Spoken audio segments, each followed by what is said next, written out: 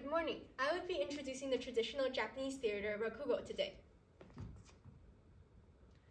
Rakugo, according to Japan Society, is a traditional Japanese sit-down comedy that has a history of over 400 years.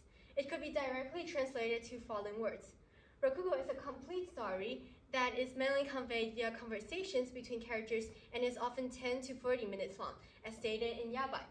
No matter how many characters appear in the story, Rakugo is performed by only one uh, performer, known as the Rakugo ka. As stated in Shore's lecture, the Rakugoka must use changes in pitch, tone, and body gestures to help audience distinguish among the different characters, according to Ackerman. Then, according to Sweeney, Rakugo is a simplistic form of theater. It only has two props. One is the sensu, which is the fan, and the tenugui, which is the hand towel for its props.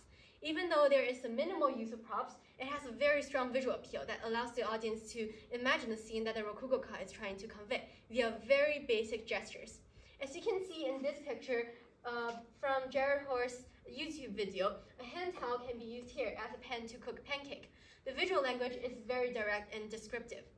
Overall, Rakugo is very important in theater because it's a genuine form of oral art that allows the stories to be trans uh, transferred from the performer to the audience uh, only by words, and that is stated in the essential theater. Now, moving on to the history of Rakugo. At the beginning of its development, Rakugo was used for religious purposes. According to Alcatel's A New World Encyclopedia, Rakugo was originally invited by the Buddhists in the 9th and 10th century. They wanted to talk about allegorical and dramatic stories to educate common people about uh, spiritual principles. And um, later on, Rakugo became more popular among feudal lords, and it became a new entertainment for the upper class. And it changes from narratives to monologues. Then, during the Edo period, a new social class called shonin appeared. Shonin is basically very rich urban merchants, so they created a demand for entertainment for lower class people. And then Rakugo uh, went into a traditional vaudeville type theater called Yosei to continue be performed. And they, uh, Rakugo became even more popular. Um, a typical Rakugo, a typical Yosei theater in the late 1700s is shown in this image from Spoon Tamago. The Rakugoka can be seen here on the stage in the uh, uh, theater house Yosei.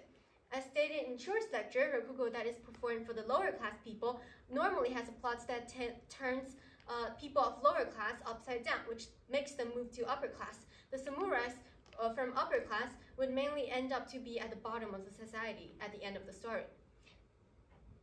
Next, I want to talk about the important theatrical elements in Rakugo. Firstly, the stage design of Rakugo is called koza. It's very simple with only an elevated stage and uh, a plain background, according to Wikipedia and Japan Experience. Uh, um, and then the rakugoka would sit on here, which is a zabuton, when performing, and they would sit in a very special way with their knees bent called seiza. As you can see in this picture from Primer, it shows a completely showcase of the performer and also the koza. Rakugo stages are set very simply and so are their costumes.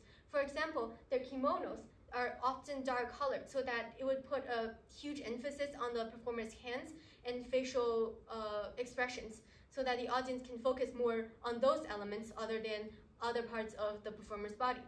The Rakugo's characters are also uh, almost always very strongly stereotypical, stated in the New World Encyclopedia, so that the strong, strong distinctions from one character moving to the other could uh, better help the audience differentiate between the two.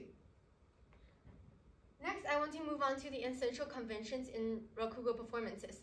From the video by Canary English Rakugo Company, there are uh, many essential conventions. Firstly, there are switching directions. It helps the uh, audiences to distinguish between characters. For example, talking to the right represents one character, while talking to the left represents another one. Body gestures has a similar function. For example, a woman may have more gentle moves with their hands at uh, the middle part of the body, while a man's uh, would have more fierce and aggressive moves with their hands at other places. A change in pitch and tone is also very similar, like a woman's voice would be higher, while a man's voice would be lower down.